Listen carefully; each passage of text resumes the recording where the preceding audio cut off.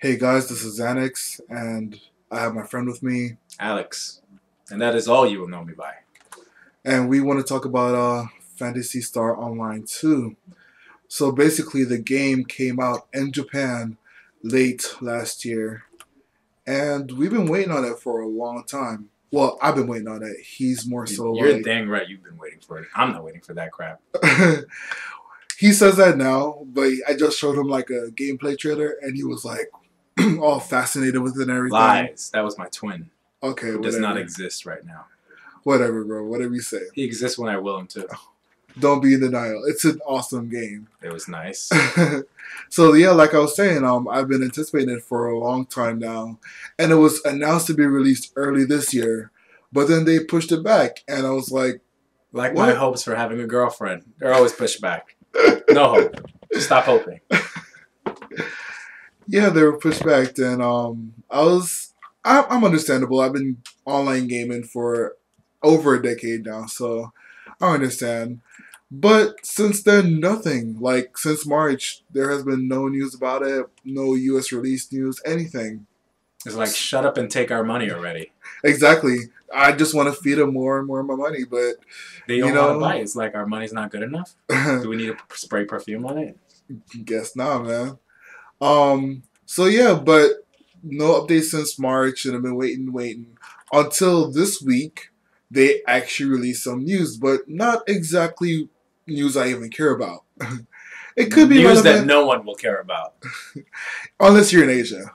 So basically, they re- they announced that it's actually going to be released in Asia, and they're releasing it sometime next year. I don't think Asia's gonna care because if 2014. we don't get it, then you know, long live the brotherhood. Amen. I mean, it always seems like Asia gets it first anyway, so that's nothing. I think new. that's racist. Hey, That- hey, that they get everything we cannot first. use the R word. That is correct. Politically correct. um, no, but I'm really bummed about that because still, even though they released the Asian release date, which is 2014, Damn. yeah, not even like in the next five months, whatever. Um, nothing about the U.S. release. No Western news has been heard about since March, and that's pretty messed up. Yep. Yes, it is. Anyway, all I gotta say is that they better release soon because a lot of people, and well, not me. I really like the game, and I've already played it. You know, used the English Sorcerer. guide. I haven't played it. I don't speak Japanese, but there was a guide when it first released, and I used it to navigate the game, and it is a really fun game. But I, I was just tired of navigating and going by imagery. I wanted to be able to read, and been waiting for the US release for a long time now. Because if I can't read, that makes me weep. I don't know what that's supposed to Alex, mean coherently. yeah, but- yeah, that doesn't that doesn't really make much sense. It's besides the point. Some nerd out there will get it. He'll feel that I'm fulfilling him. Oh, you're fulfilling Some my listeners Yeah. now, One of your listeners. You're the One. chosen one. the chosen one. To rule them Which all. one of you are the chosen one? Yeah, leave a comment. How about that? Which one of you is the chosen one? Yes, yes, do that. anyway, I just hope they release soon. I'll still play it, but they better release soon because Blade and Soul is coming out. Elder Scrolls Online, which I know he wants, Oh, is coming wait, out. no. I want it for the Xbox One. Yeah, I keep dreaming. I will when I get a girlfriend. oh, that that could be. Never. Yes, I know. Yeah, us gamers don't really. uh Get into relationships like that. Has something to do with our handsome looks. Yes, definitely that handsome diet of Uh, Fritos and Cheetos. pretty much. Well, you like them Fritos. Fritos, Cheetos, and I love some Doritos. Yeah, I love some Doritos. Mm, cool Ranch. Bell. Yeah, they let's, do it right. let's not endorse Yeah. companies that don't pay. You want me to talk about you, Taco? You Yes, money, and then I'll send send some endorsements. Yes, yes, Yes. definitely. Anyway, guys, um, yeah, Fat let us know pockets. if you're looking forward to uh, Phantasy Star Online 2 as well. Let us know. I'm really up. bummed because, especially like going three plus months, I'm bad at math. So like I'm five bummed. months. I don't even know anything about the game except that I liked the video that you showed me.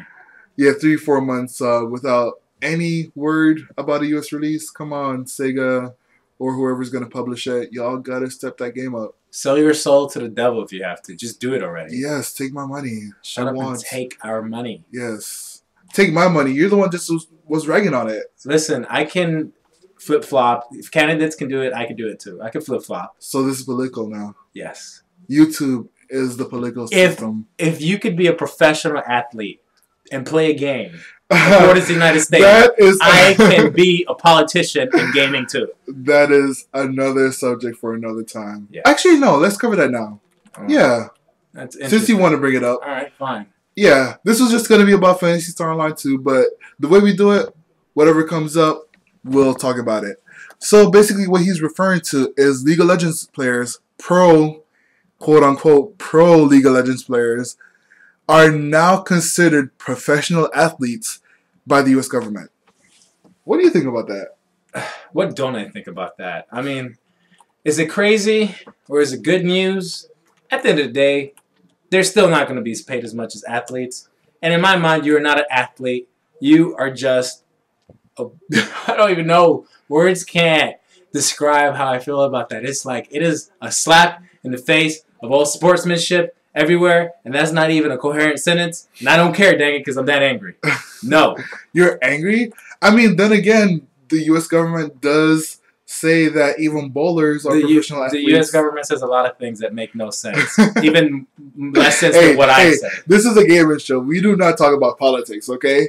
Well, as, as soon as they start involving, wait. First of all, they already brought their politics into it when they started calling these people, and yes, I said these people, athletes.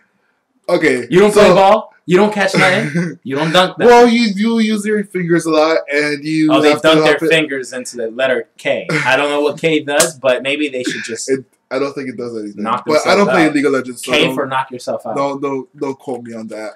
But my side of it, I'm really surprised, and I'm really concerned because how do you define pro League of Legends players? Okay, there is the fact that there's a pro league formed by the ESL, the Um, Electronic Sports League, I think it's called. correct And them in the comment section if it's not caught. I think it's the E- yeah, ESL Electronic And even if he is right, Sports League. correct them anyways with something that's not true. anyway, um, There is yeah, so they've really they've been paying paying uh, League of Legends players regular salaries now. They've been doing the tournaments, and I understand there is really a pro level of it.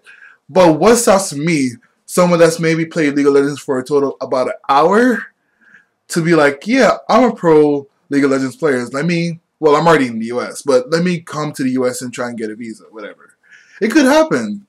And yes, there's background checks, so there's no real security, like, you know, concerns over that part. But I'm not a professional athlete. Like, just because I'm the best of the best, which I usually am in my own dreams, yeah, your dreams, because I am the ultimate of ultimates. in his own dreams. um, I don't. I'm kind of happy because I'm a gamer, and there are certain games that I would like to be considered a professional athlete at because I am that good. But overall, I'm kind of concerned. No tip of the hat and a wag of the finger. What What does that mean? That's British. Ask a British person. Um, yeah, I don't know. Um, what what do you guys think? Like, what I really am even concerned what what I really am concerned about, like I said, is the whole security thing about it. Like, there is no definition of what a pro League of Legends player is, and just because you're really good, I know a couple friends that are really really good at League of Legends. They're not in the pro league. They're pro league level type players but they're not in a team. They're not on a salary or anything. And would that would they be then able to get a visa in the U.S. government by the U.S. government to Oh, be here? Um, and yeah, so I wanna um really dig into the subject. What do you think, bro? Like really, like legitimately, Hey, I'm all. all jokes aside. I'm all for visas. That's um, so. I think yeah, okay, that's cool. If you could get a visa out of it, sure, why not? I'm like, um, it could allow. not the credit card. I know. I like money. I like both visas, money and the kind that lets you stay here because this is a great place to live. Long live America! Amen. So yeah, if you haven't really figured out what we meant, is basically um so yeah, it goes like this. If you are a League of Legends player outside of America, you can actually petition in the to the US government to be classified as a U.S. um I mean a professional athlete and come to America as a working on a work type visa, and you'd be able to be in the U.S. on this visa, and this really is a huge huge thing for Riot Games because they just announced that they're actually going to be at the Staples Center in Los Angeles. What a convenient time for a call. Yeah, tell them to die. Hey Adam, say what's up. We're actually doing a live broadcast, and he called in the middle of it. Crash your car into a bush. I will have to call you back in about uh, 15 May that bush crash into you. Yes, man. hey, that's how we do it here. You know, we just do one take. We don't go back and re-edit whatever. Um. So yeah, basically, where was I? You were talking about visas and how you can come here. Staples. Center. Yeah. Yeah. That's the only time I'm going to be serious, so enjoy it. It's gone. Staples Center, and um, this was a huge thing, like mega for a game to be hosted at that type of avenue. Wait, venue. It's pretty huge, and so what re- this really means is that those international players, because there's a huge tournament coming up, there's China and I believe North Korea is going to be involved. I mean South Korea. Wow, I am Korea. Don't quote me um, they're going to be involved and they essentially can come to the US on this visa and it's much easier for Riot Games to host these international tournaments. Um, I personally do want to see this become a huge thing because I am a fan of esports. I feel like esports is the next um, evolution for online gaming. Because yes, we have the new next gen consoles and we have the new platforms and everything, but we need a real competitive revolution um, beyond like leaderboards and beyond you know Yes, please. local tournaments. We need bigger, Make it mega, more worthwhile. Oh, and yes. yeah. So regulate it. Regulate. regulate. Regulate. Uh, Wait, it's not regulate. No, it's uh. no, please, no regulations because it is awesome getting non-tax money from tournaments. Yeah, tournaments. that is awesome. Actually, I think in the US you do have to pay taxes on those cash prizes, but well, that sucks. yeah, if it's hosted in the US. But That's America for you. hey, you gotta pay your taxes, man. Don't want Uncle Sam coming after you. Yeah, because then you get it in a booty. Um, yeah, that's all him. That's all. Whatever me. floats your boat, Alex. I don't like that, but you're going to go to prison and you're gonna get it there if you don't pay your taxes. Long live America. Long live America. Anyway, guys, uh, just yeah, just leave your comments below. Let us know what you think on both of these issues. Phantasy Star Online, not a single word about the U.S. release since March, and League of Legends. If you are a quote unquote pro League of Legends player, you can now be considered a professional athlete in America. Also, choose what our catchphrases will be from now on. We'll say a new catchphrase every video, and then you make the decision in the comment section on which ones you think is best. Mine's will be dunk and vodka. Sean's is just quiet. That's it. yes, it is always very entertaining to have you here, Alex. Whatever. My presence is a blessing. You're welcome. and again, he's a dreamer. Dunk and vodka. All right, guys, take care. See ya.